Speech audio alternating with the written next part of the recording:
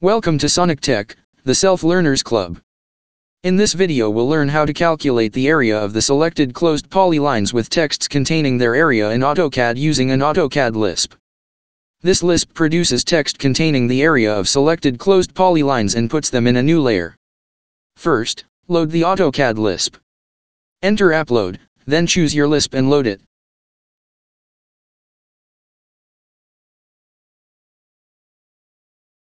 Draw some polylines.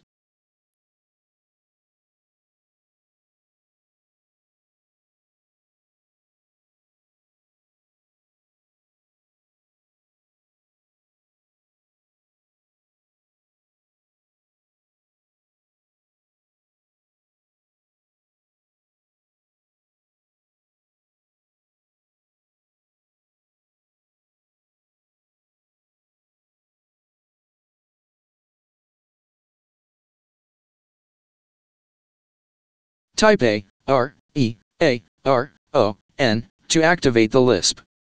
Enter text scale and the number of decimal places, then choose your closed polylines.